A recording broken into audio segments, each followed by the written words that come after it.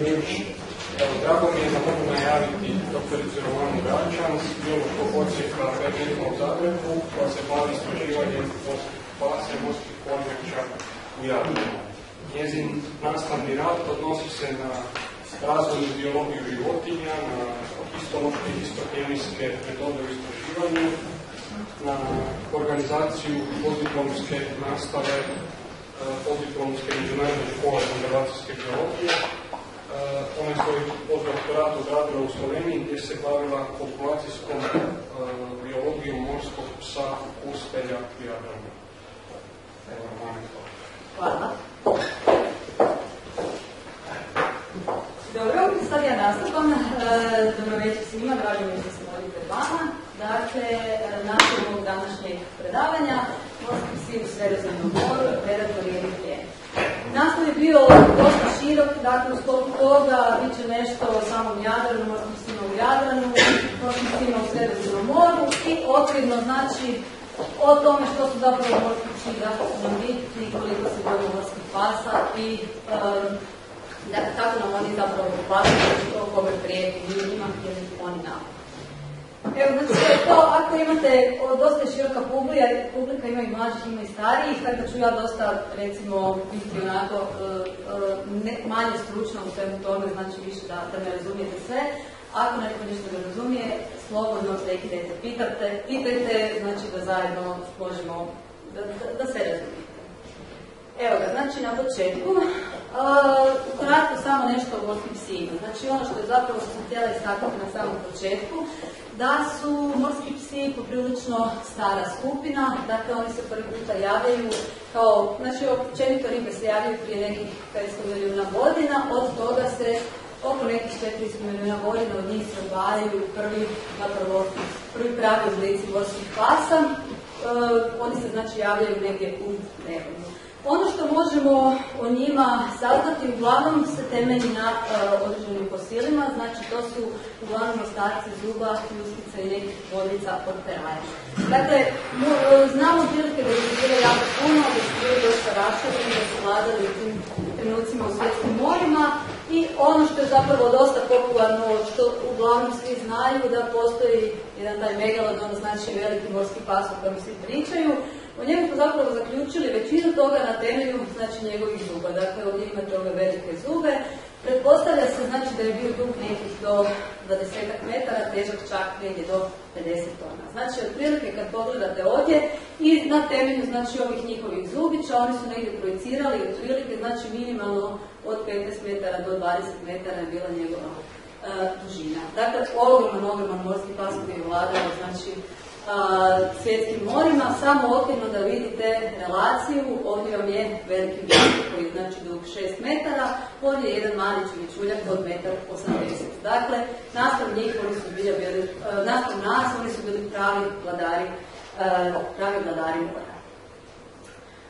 Isto tako, znači ovdje vidite zapravo kako se pojavljuju skupine, određene skupine životinske u samoj znači evolucijskoj liniji na zemlju na zemlji ono što sam htjela istaknuti je da zapravo, iako su morski psi zapravo dosta ova stara skupina, mišljenje da su, poneki ljudi misle da su oni zapravo iz toga da su primitivna skupina, što je zapravo pogrešno. Dakle, morski psi znači jako dugo vremena žive u našim morima, imali su jako dugo vremena da se prilagode i da na neki način se specializiraju, da osvajaju nove prostore i da se na neki način jako znači, adaptiraju na različite uvjete u okolišu.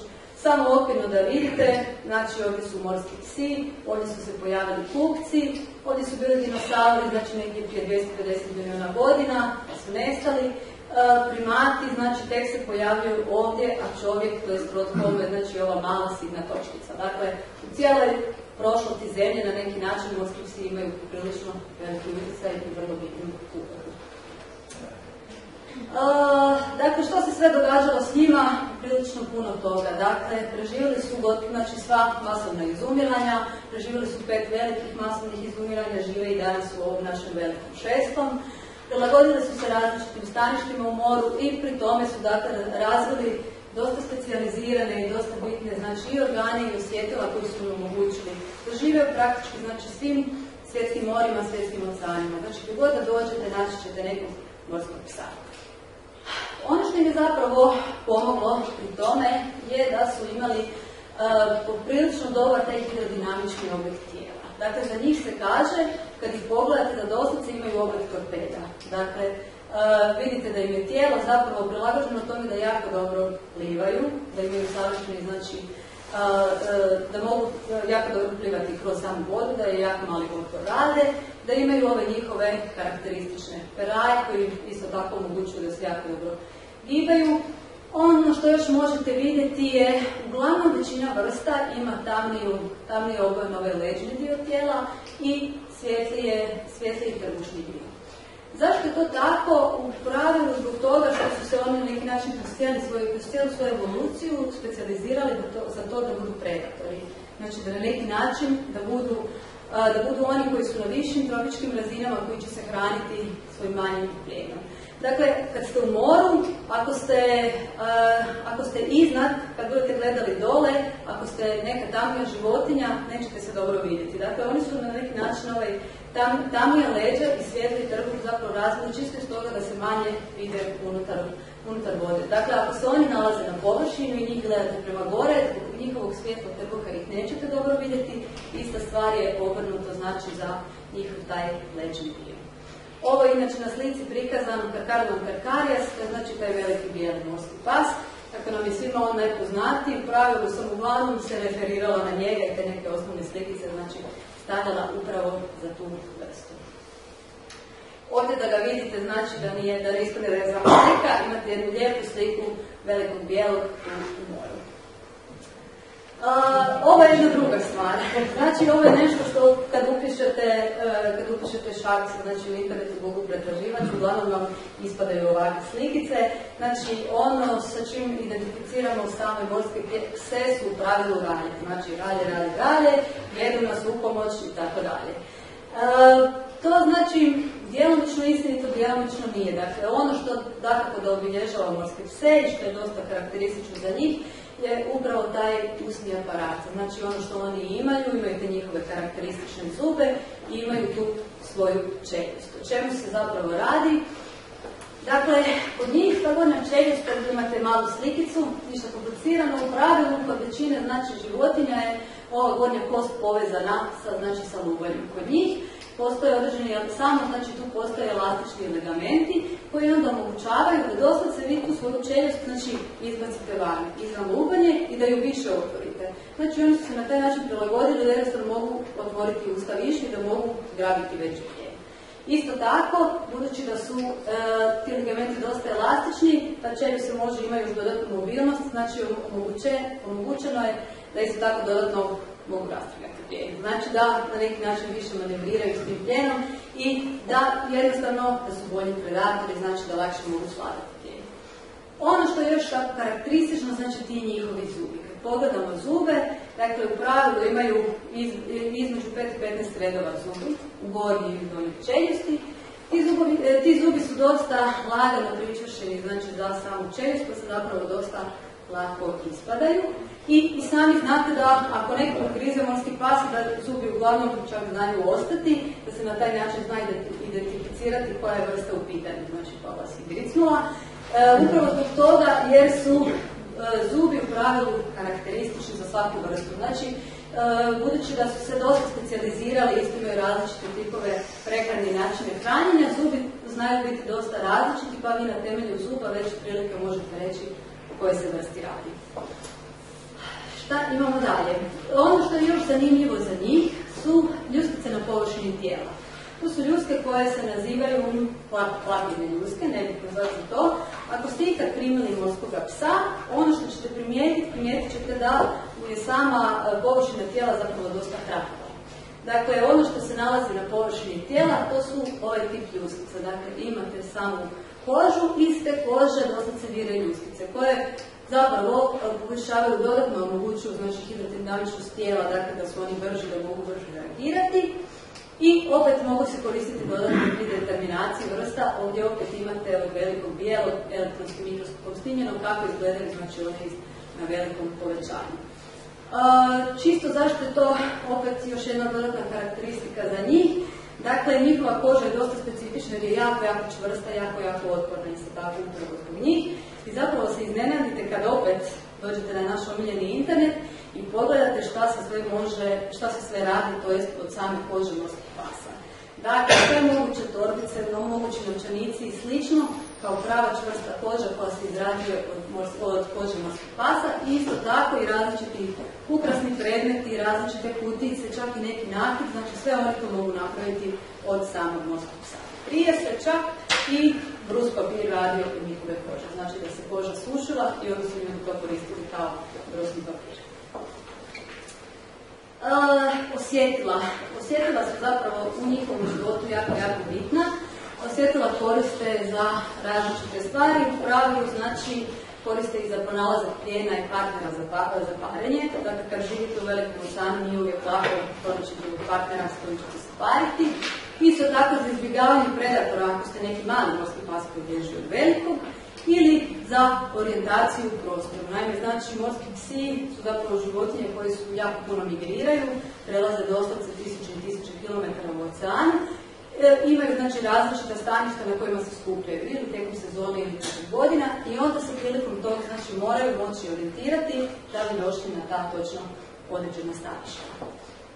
E, što se tiče samih njihovih osjetila, ono što ovdje sam nabrojila znači neke od njihovih, čisto da vidite na kojim zapravo udaljenostima i osjetila na neki način možemo tako nešto funkcionirati. Ono što je najoštrije, možemo to tako reći, u pravilu kod morskog psa je njihov sluh.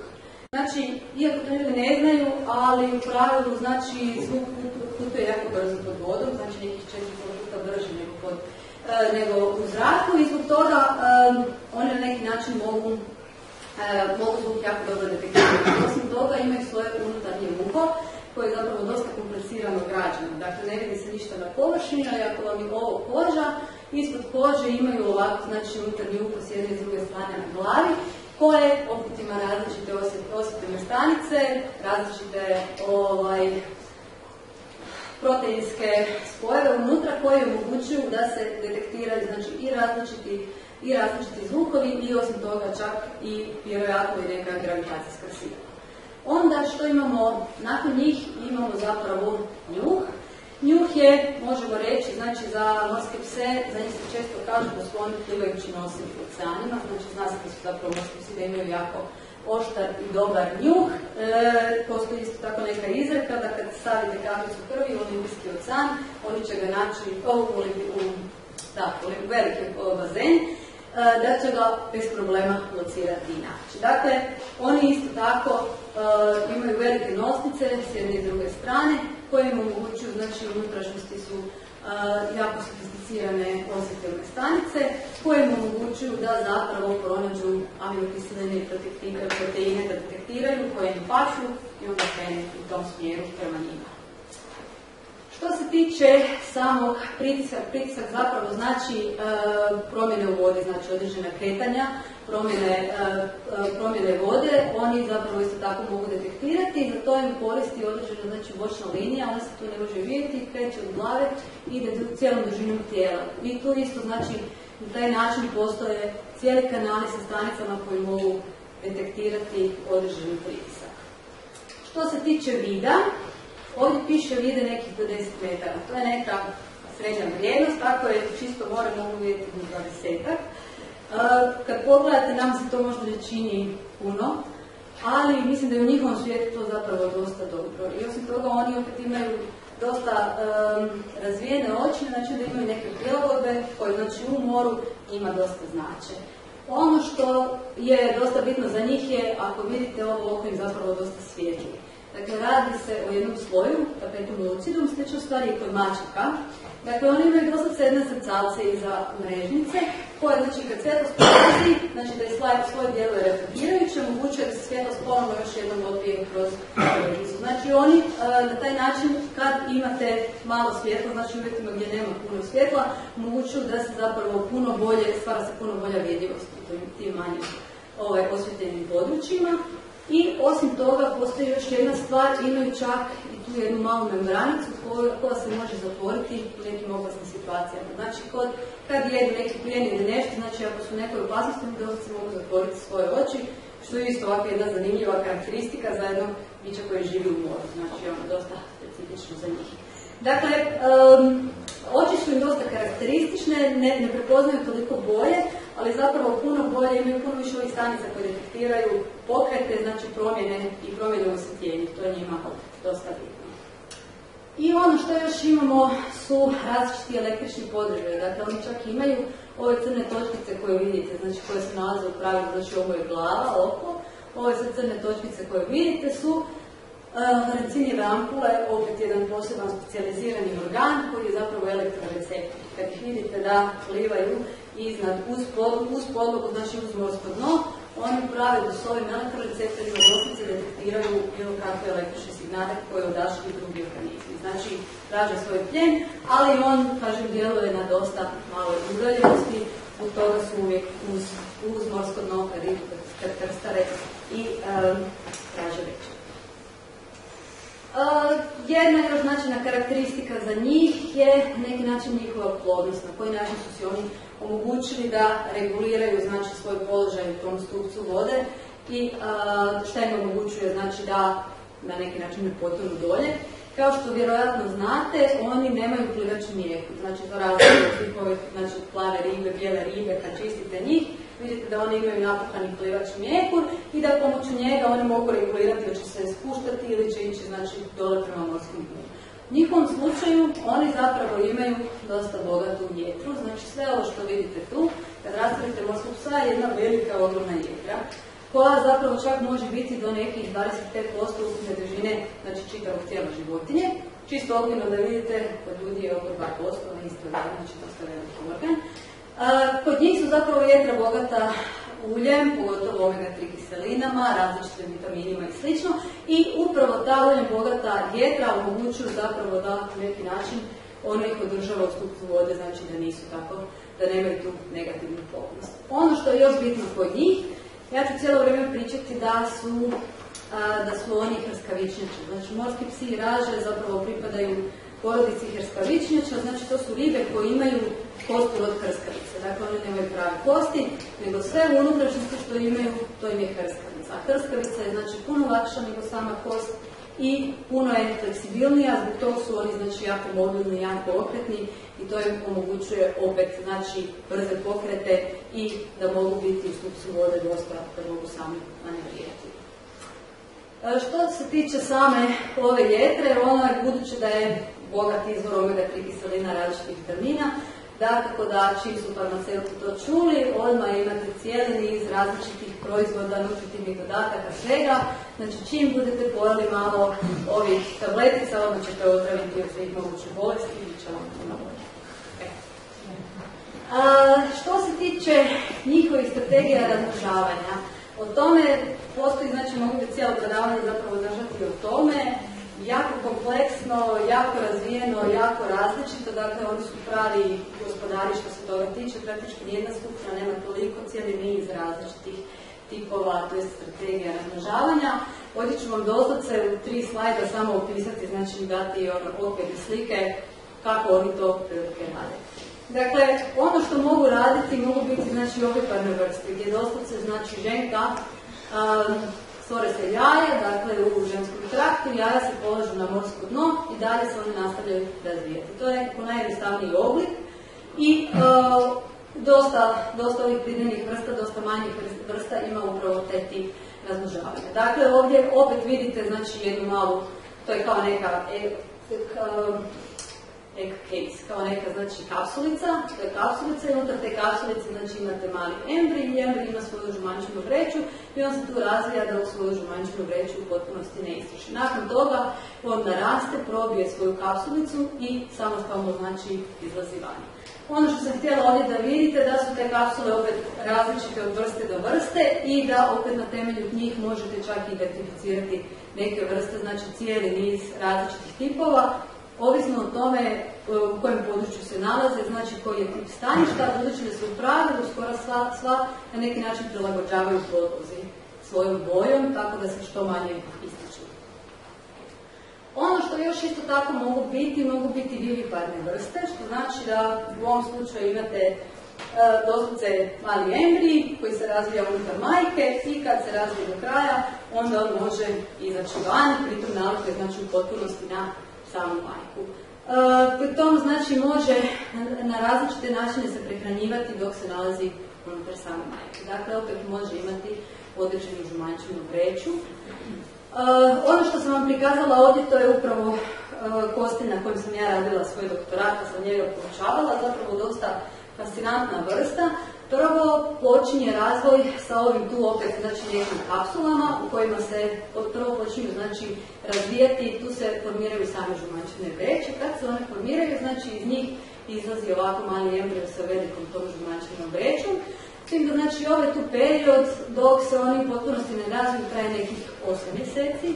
Nakon toga sljedećih tipa 12 do 14 mjeseci vam on znači hrani se svojom žumančinom vrećom, kad je u potpunosti absorbira onda imate ovakvu malu životinjicu koja je spremna za izaći van.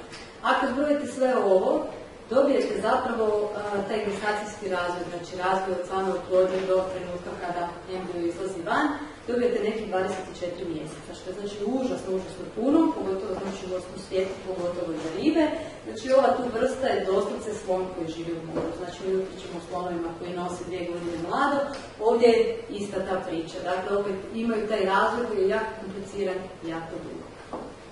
Ono što još može biti poznato u svijetu strategijama razmnožavanja morskih pasa je da dolazi do fenomena koji se nazivaju opagija embriopagija ništa komplicirano, u pravilu se radi o tome ako znači imate embrije koji počinju jesti, koji braću ili počinju jesti jajašca, znači još neoplođena jajašca od majke. Dakle, oni se doslovce ubijaju konkurenciju u startu, oni se doslovce hrane i na kraju imate dva, tri mladunca koji su veliki i snažni, ostali nisu preživjeli i to je velike to.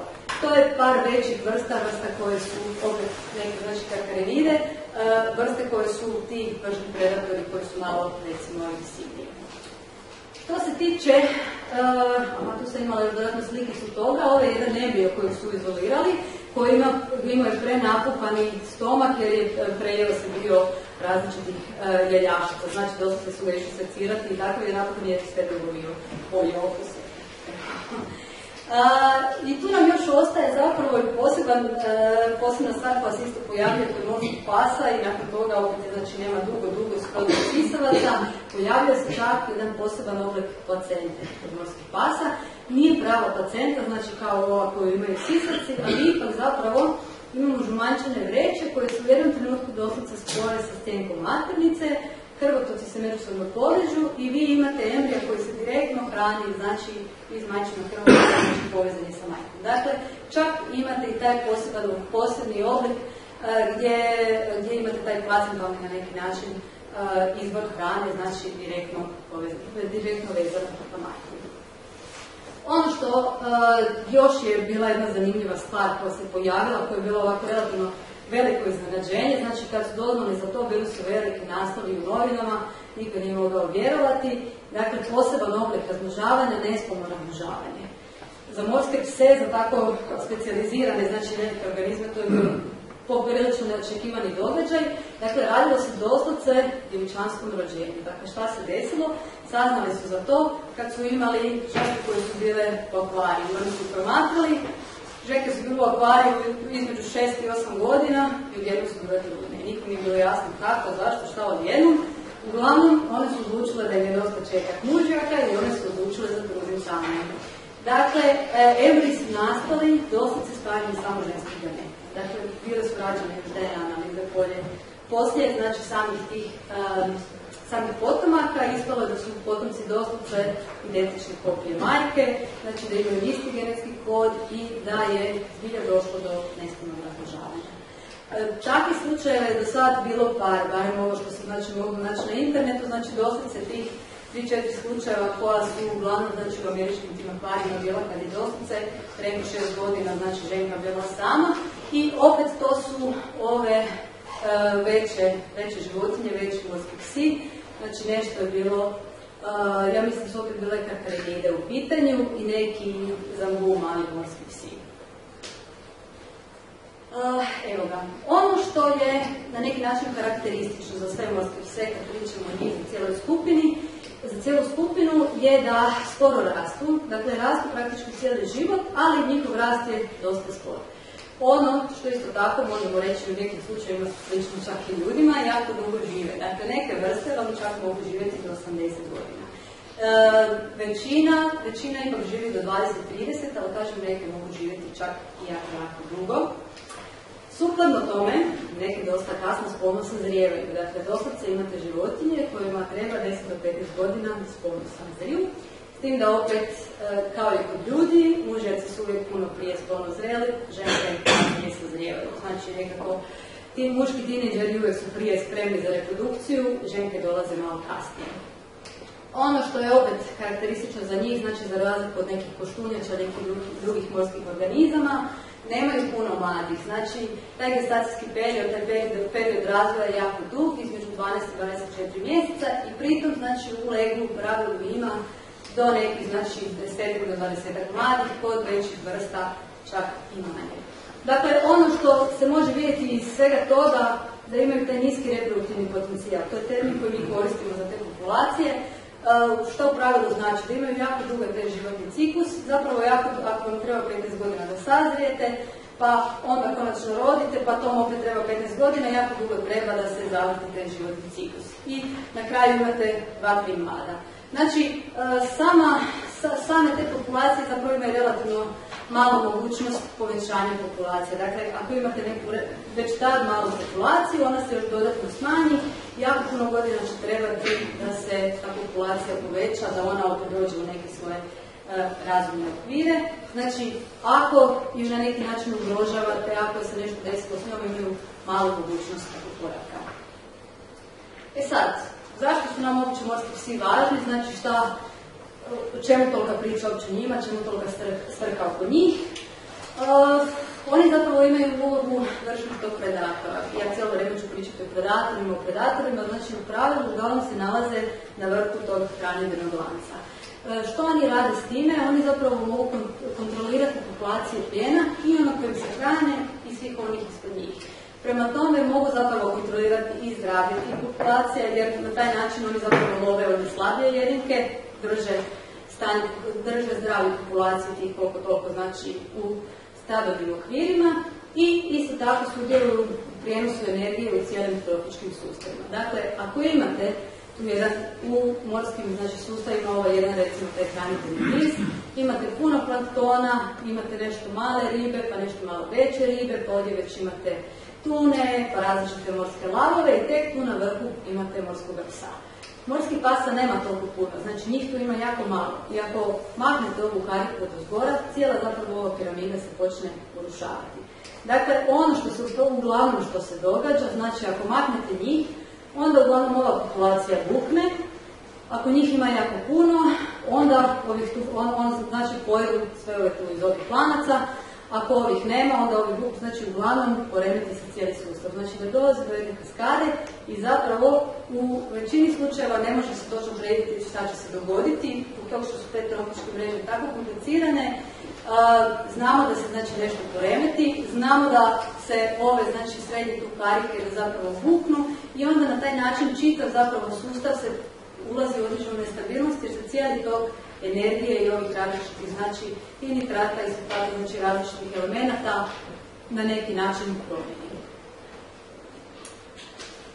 Koje su glavne prijetnje opstanka morskih pasa? Dakle, ono što imamo, što znamo da dosta morskih pasa su komercijalne vrste, da mogu biti znači, direktni slučajni ulov. Pa prema tome, glavni neki komercijalni produkti su vam ovi tu navedeni. Dakle, imamo peraje, imamo meso, imamo jetru, to su već rekli, koža, različite stvari, zubi i čeljust, u zadnje vrijeme čak i hrskavica. To je neka novost, to je čak i mene iznenadilo, znači, e, inače hrskavica je sad relativno nova stvar koja se pojavila, dakle, odjednom su otkrili da bi mogla biti dijete za To je sad po internetu, po novostima, dakle, da su odmah opet buknuli različiti lijekovi, farmaceutska industrija opet e, ovaj, se bogati. Dakle, imate cijeli niz različitih tipova produkata koji dosad imate prah krskavice. Stvar je bila u tome da su rekli da morski psi nemaju tumore, pa ako oni nemaju tumore, mora da imaju u sebi neki sastav koji na neki način, znači one mogućuje rast tumora, pa je krenut tim. Nakon istraživanja su otkrila da imaju, iako u manjoj mjeri, ali da ipak postoji. To ih zapravo do sad, do dana današnjeg, nema nekih dokaza da oni zbilja djeluju, znači na, da imaju neko protutumorsko djelovanje, ali evo, na internetu se i to može naći i sve se može naručiti, pa da znate da je jedan od razloga, zašto se morski psi love upravo u Kitaji. Ono što je mene najviše na neki način zgrozilo, situacija je bila vezana uz ovaj prvi dio. Znači, glavni komercijalni produkt morski pasak peranje za riblju ljubu. Sad niko ne očekuje, bar ja nisam očekivala da će to biti nešto bitno i u tolikoj količini, znači da može ucicati doslovce na sve svjetske populacije morskih pasa. Spostavilo se da može, dakle, azijsko tržište, ono koje je nama daleko, ali ipak enormno i užasno veliko, oni imaju riblju ljubu kojem koristi i kao afrodizijak i kao dodatni, znači čak i na posebnim određenim e, peštama, veselicama, vjenčanjima i slično, obavezno je da imate znači upravo tu riblju ljubu, za koju kaže da nije ništa posebno je fina, čak što više da je malo bezokusna, ali to je stvar prestiža pa se mora imati. Uglavnom, količine i cijene e, koje se znači koriste na tom tržištu su nevjerojatne. Ja sam danas isto išla gledati koja je okvirna cijena. Kažu da za kilu sušenih peraja možete dobiti, e, traži se cijena od nekih 6000 kuna. Mislim da je tako, za jednu kilu. Tako da, e, peraje su zapravo najcijenjeniji dio morskih pasa, najskuplji, znači u pravilu love ih najviše zbog toga. Dakle, što se zapravo događa? Oni doslovce odrežu peraje sa morskih pasa, budući da su one najvrijednije, ostatak se baca u more. Dakle, oni cijelog morskog psa prknu preko, prknu šćanca i oslobodi si mjesto za više peraja, jer ovo zapravo zauzima prostor. A, istog je zapravo nemoguće kad vi imate samo peranje, nemoguće je znati točno broj ulovljenih životinja, životinja koje su na taj način ubijene. Procjene su ono, od 26 tisuća do, do 26 milijuna do 73 milijuna pasa godišnje da se ubije upravo na taj način. To su enormne, enormne brojke koje uopće si ne možete zamisliti. U svijetu postoji cijeli niz akcija, znači koje zapravo idu protiv toga da se zabrani upravo taj finning, znači rezanje peraja.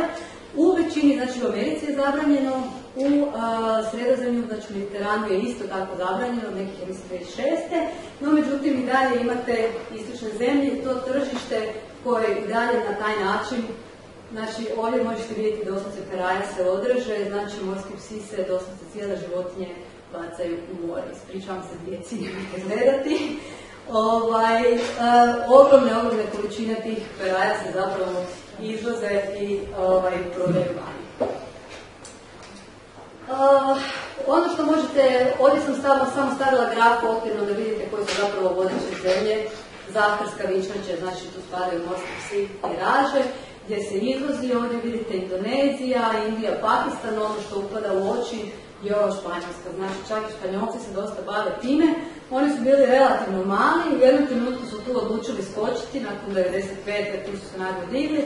To je u pravilu bilo kad su izlovili sve svoje sabljarke pa smo morali preći na nešto drugo pa smo onda otkrili da su morski psi dosta vrijedni, da se to isplati pa sad evo rade i to. Dakle, ti španjolci se bave dosta, dosta utječu na taj ribolov. Uz njih, znači u Europi morski psi se još love Francuska, Velika Britanija, što se tiče našeg Jadrana, ja sam ovdje našla neku statistiku, to je bilo do 2005. možete vidjeti, od 70. do 2005. Otprilike kako je bio raspodijeljen, znači u Skladišnića u našem Jadranskom moru. Ovdje je tad bila Jugoslavija, sad odavde imate znači Hrvatsku, Sloveniju, raspodjelu dalje. Ono što vidite je da svugdje kroz sve godine dominira ovo tu Italija. Dakle, mi koliko god da mislimo da smo bitni, s obzirom na ove druge znači, odnose, ako želimo ništa napraviti vezano uz, uz zapravo održavanje neke dogovore zakonske regulative, određivanja samog znači, ribolova u Jadranskom moru, vidi se zapravo ko je najveći znači, udar u tu i s kim moramo najviše razgovarati, znači dogovarati se da se neke stvari izreguliraju. Dakle, Italija, pa je onda tu Hrvatska, imate nešto Crne Gore i tu malo, malo Slovenica. ono što još utječe na morske pse, svi se u zadnje vrijeme pričaju o otpadu, ja imam tu dva slajda o otpadu, znači samo to. Neću puno, zašto svi pričaju o tome, u pravilu su svi u pravu. Znači otpada ima sve više i više u moru, ima ga užasno puno, svake godine se novi otpad baca, a stari i dalje ostaje jer se jako teško razgrađuje. I praktički sve životinje koje žive u moru dolaze u kontakt s njim i stradavaju na neki način od njega. I onda imate, znači mogu se zaplesti u različite ribarske mreže, u različitu plastiku, mogu im ostati, mogu im ostati i probadilo i škrge, onemogućiti da se da, da dalje plivaju, mogu ga progutati pa onemogućiti da se normalno hrane, znači različite nizove, različite stvari koje sve utječu znači, i na druge životinje, ali isto tako i na morske pse. Apeliram na manje građanstvo, ove najmlađe tu, nemojte bacati smeće u more, molim vas. Evo. Uh, glavne, znači što se tiče nekih glavnih prijednja u samom sredozemnom moru, što je kod nas zapravo najbitnije e, da, za zaštititi morske pse. E, vjerovali ili ne, kod nas glavna prijetnja, je zapravo slučajni ulov. Onda imamo zagađenje, gubitak staništa, ribarstvo, to je sve ok. Znači ono što mi moramo riješiti u sredozemlju i ovaj tu slučajni ulov, isto tako i u.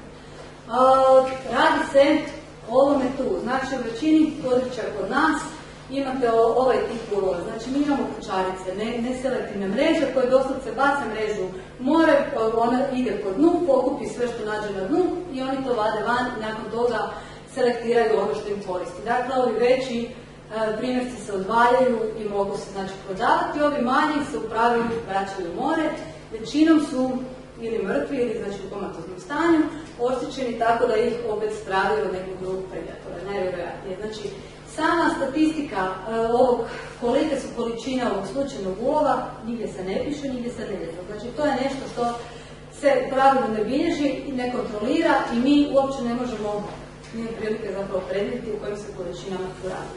Ako čak ovih životinja nema, u zadnje vrijeme su ribari počeli uzimati čak i ove male, ali e, opet budući su one slučajne ulova, ne ciljani ulov, to opet nisu dužni prijaviti. Znači opet ne znamo koliko tog se radi.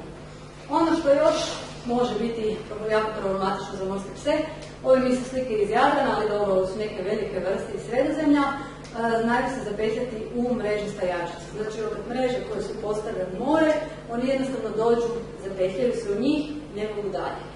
E, problem kod ovih morskih pasa je što se morski psi neprestano moraju kretati. Znači, oni neprestano moraju plivati, da bi im e, voda prolazila kroz škrge, da bi mogli disati na pravilan način. U trenutku kad se zapetljaju, u trenutku kad stanu, za njih je to to. Kraj puta, kraj priče.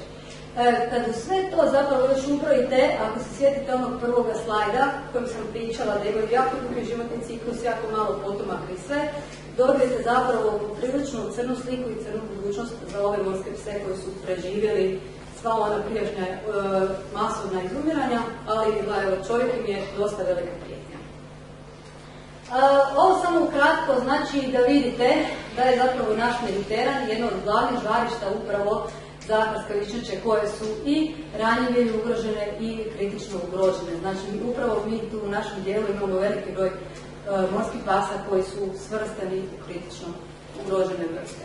Otprilike je zabilježeno nekih 49 vrsta, znači u sredozemnom moru morskih pasa, toga nekih 20 se smatra top predatorima. Znači ovi koji su velike životinje, koji su na vrhu hranjenih lanica. Ono što je poznato je da se ulov pravi svih vrsta morskih pasa drastično smanjio.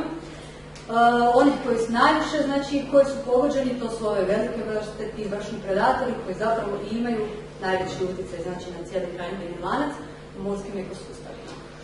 Radili su analizu trenda pet velikih vrsta morskih pasa kroz nekih 200 godina, znači njihovog ulova i zabilježeno je, gledajte ovo, 97% smanjenja, ukupnog smanjenja u populacijama, znači svih ovih pet vrsta. Znači sve ove velike različite karkarinide, ovdje imamo znači velikog bijeloga, karkarolina karkarijasa, znači svi ovi trendovi su jako, jako nisko pali, svi su se ozme Dakle, praktički svi veliki morski psi, pogotovo pelagičke vrste, u Sredozemnom moru su praktički na rubu. Znači, nešto malo ih ima, ali nema ih više puno.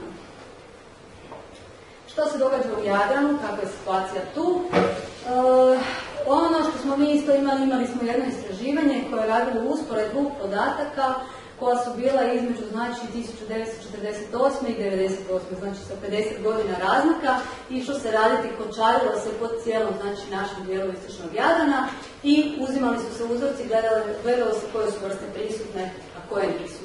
Već na ovome tu zapravo vidite ovo je na neki način aludancija, ja mislim, znači brojnost jedinki, da ih je, 40, ovo je znači slika iz 48. ova crvena polja su polja, znači gdje su te vrste bile prisutne.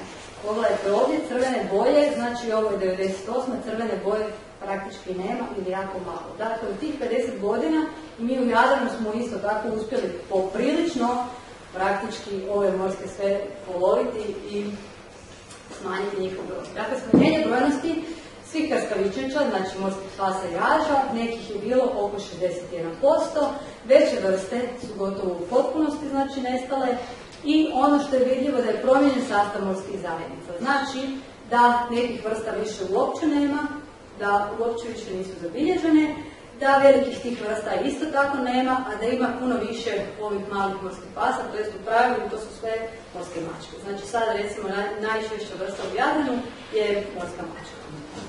Pravi veliki morski pas. Uh, inače, moram se nadovezati na predavanje uh, od zadnjeg puta od uh, profesora iz Ruđera Boškovića. On je pričao o tome kako jako malo ljudi u Hrvatskoj radi istraživanja i na moru i na morskim organizmima. Ja moram se složiti s time, većina istraživanja koja su sad u zadnje vrijeme rađena su zapravo rađena svi su rekli istu stvar, znači promjene, velike promjene u Jadranskom moru, promjene u tropičkim lancima, isto tako veliki dugotrajne promjene u ovih pridnenih vrsta u Jadranskom moru, isto tako imate promjene različitih predatorskih zajednica s obzirom na utjecaj čovjeka.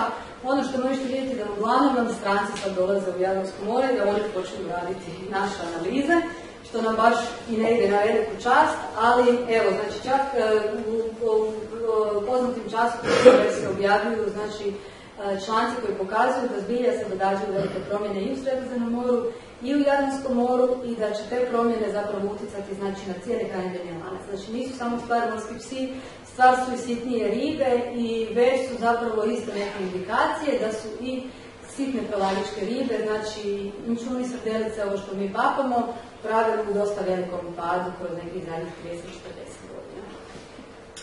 E, samo kratko, par, e, par slajdova, rekli smo da moram par slikica za djecu staviti, par zanimljivih vrsta u Jadranu.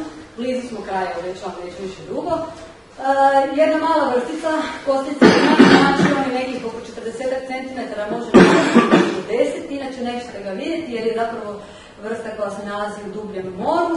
Ono što je karakteristično za njega zanimljivo, čak može proizvoditi neku svjetlost. Znači ima neke pigmentne stanice u sebi u površini koje reagiraju na određene hormonalne podržaje i čak može svijetiti. Znači jako slatka vrsta.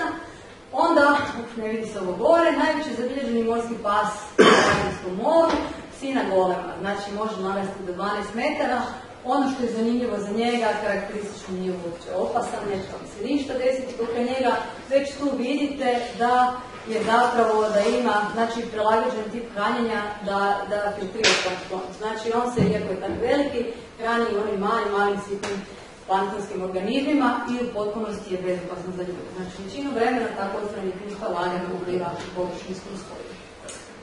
Sklat je jedna primjena vrsta, često zakupan u pjesku, ovo je recimo uopćena veličina morskog psa, bar ne meni.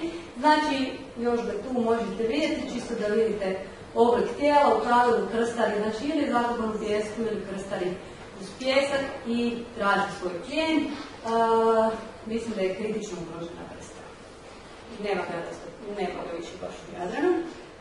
Lisica, isto tako je jedan poznati morski pas, najviše ga prepoznajete po njegovom dugom repu, dakle rep može biti dugačak čak kao i cijelo tijelo.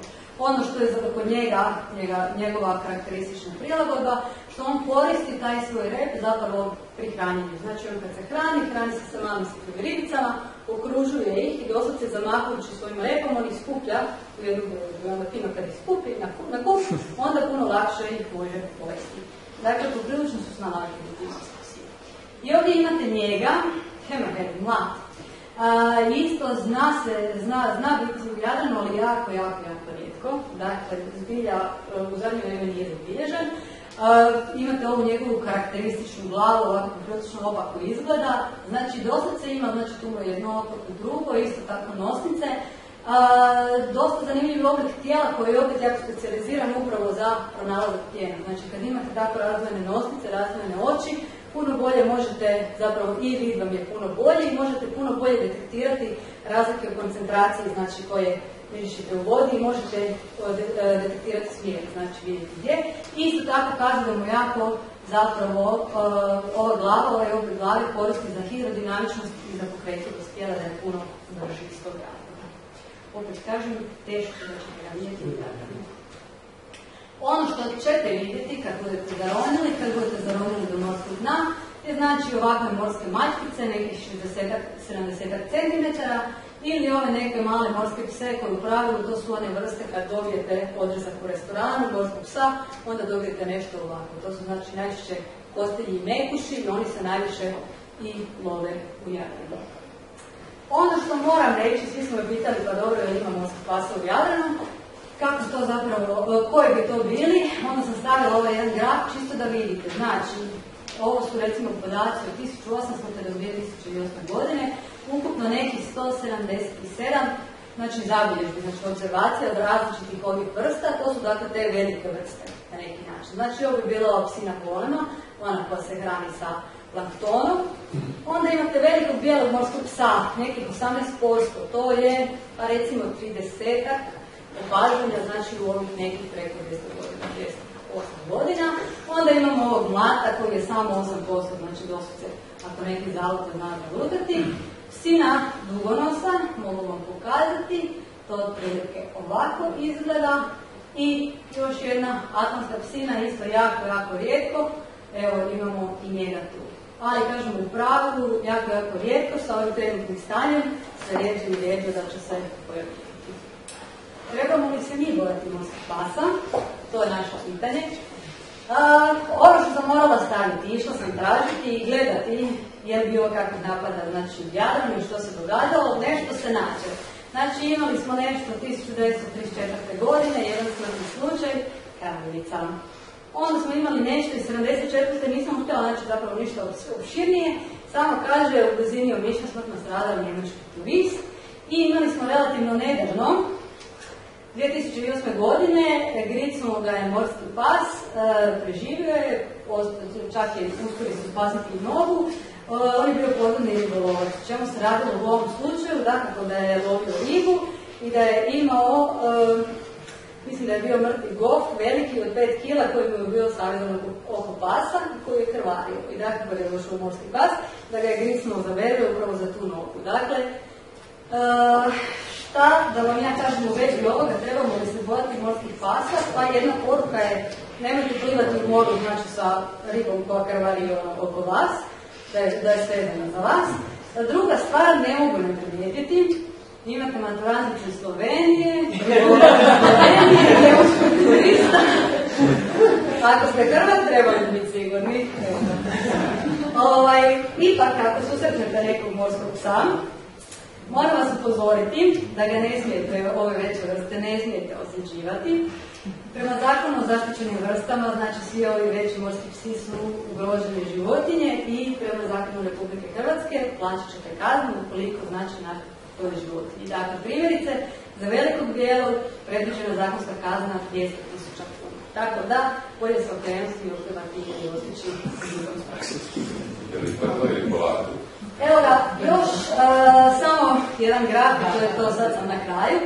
Još samo jedni rezultati istraživanja e, provedenog u SAD-u, oni vole ovakve brojkice, dakle ovo je bilo između 1994. i 2005. godine, računali su broj smrtnih slučajeva, znači od različitih uzroka, znači na nekoj godišnjoj bazi. Ono što možete vidjeti pas bicikla, munje, gdje se zaprema u autu, ugrizi pasa, morski psi tu najniži rodnika. Čak sam negdje našao podatak da je vjerojatnost, e, veća vjerojatnost, dakle dva puta veća vjerojatnost da ćete dobiti jackpot nego da će vas ugristi morski pas. To je zašto se radi morski psa. Tako da mislim da što se nas tiče, mislim da smo sigurni, pogotovo jer su ovo rezultati još iz SAD-a, oni tamo imaju oceani i pacifički, sve imaju puno veće ja ću segnuti malo opasnije. Dakle, što se tiče mene, zadnja poruka uh, od mene do danas je da ono što je neki zaključak da, da stvari stavimo u perspektivu, morski psi zapravo godišnje ubiju manje od ljudi, znači na cijelom svijetu. S druge strane, ljudi ubijaju negdje od doslovce 100 milijuna morskih pasa, možda i više. Dakle, ko se koga treba bojati, mislim da je u meni u ovom trenutku ova slika ipak malo ispravnija. Evo. Eto, to je bilo to.